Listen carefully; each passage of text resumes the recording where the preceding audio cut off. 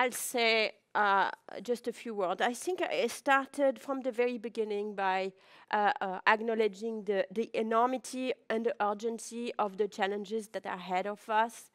I, uh, you know, 20 years is a great achievement, but it's uh, uh, that's about it. You know, this is it's really not the time to rest on our laurels. I'm talking about JPAL. I'm talking about every single one of you here. Pratham, Save the Children, BRAC. Everyone here, IPA. We've, you know, you have uh, gone a long way, but it's a very small uh, part of the way. And some days uh, it really feels that the way is getting longer just as we are traveling on it. Um, just as uh, uh, things in, in Kenya were improving for the elephants because of the amazing work uh, between the community and preventing the poaching. Climate change arrives and throws the baby elephants into, uh, into deep wells. Just as Bangladesh is becoming a middle income country, climate change is, is threatening to engulf a good part of it underwater and, and bring uh, uh, millions of people to the cities that are not uh, uh ready to welcome them. Uh, just as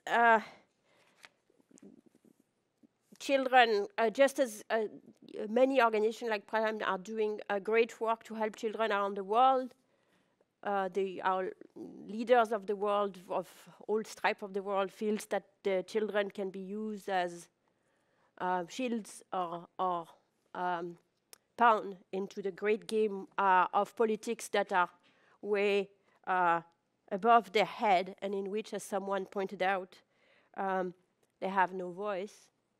Um, there is so much to be done. Many people, I think, it came in with uh, in many of the sessions the, the key importance of working with children, uh, of you know starting you know giving children the the hope and uh, and the capability to realize the potential that they, that they have. And that's an enormous uh, challenge and one in which uh, there are pretty strong headwinds.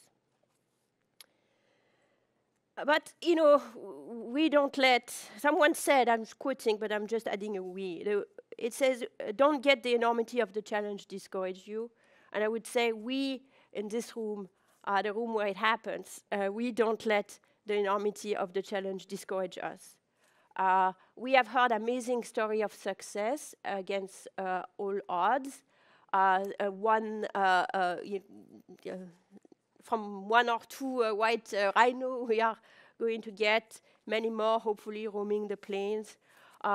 from from the debris of COVID, uh, emerged, uh, for example, a new uh, understanding of the importance to meet children where they are, in education, and somehow that in itself is bringing good things. Um, from uh, one uh, uh, a daring program in Bangladesh, a good fraction, an important fraction of the world's poorest people will be covered, are covered, and will be covered in the next few years by a program that really changed their life. And each of these have been in the field in looking at them. Each of these is such an amazing story of individual success. So as organizations here, we've had, there have been successes, and uh, that's because we do not take no for an answer. I think at the heart of these stories, of course, there is evaluation because this is JPAL. We invited friends of JPAL and they are being polite. Uh, but uh, uh, deeper than that, and perhaps, uh, perhaps uh, at the basis of, of all, um, I, I, and through the conversation of the morning, and I hope through our collective work, is the deep belief that uh, people in poverty are not the problem, they have problems, but they are the solution and in them lie the solution. We've heard it so many times, and the job is really to make this solution emerge. And then some of them will work, and some of them will not work, and we'll evaluate and uh, work with them to evaluate and make, uh, uh, you know, take whatever works to greater scales. Uh, so this is, of course, is a kind of a practical way of looking at it, practical and pragmatic, because that's where you know, where are you going to find a solution uh, if not with the people who have uh, the prime first order experience of the problems? I think this was very clear in Marianne's work, is that okay, the problem of not waking up in school, you might think it's an alarm clock, but there are these other things that people can, can tell you. So that's just practical. That's kind of where we'll find the problem. But beyond practical, it's also, I think, a moral imperative. Kelsey started by saying she encountered, as a child, moral ambiguity. It's full, it's everywhere around us. One that is not an ambiguity, the moral imperative of uh, being thy neighbor's keeper, I think is one that we uh, all uh, ascribe to. It's like, and how would you do that without respecting the fundamental dignity of the people that we, are, uh, we have the privilege to be working with? So that I think is going to be a, a, central piece of it, has been, but needs to continue. And whenever we forget, because we are in a hurry or something or the other, uh, we need to go back to that, uh, go back to that uh, sense of what, why, and how we are doing this work. And then the, the next thing is that I heard going through the team is, is that of, of patience.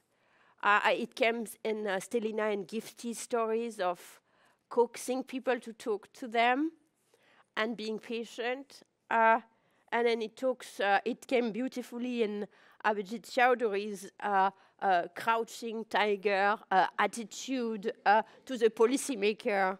lie low, there'll be a moment of weakness where you can pounce on them and get your program done. That, I must say, um, sounds very familiar. um, I want to end with uh, two uh, uh, direct uh, quotes uh, to uh, keep us sustained through the next many years. the first one is that if your projects are not failing, you're not taking enough risks. And the second one is from the DJ, if you want to save the world, why don't you change yourself first?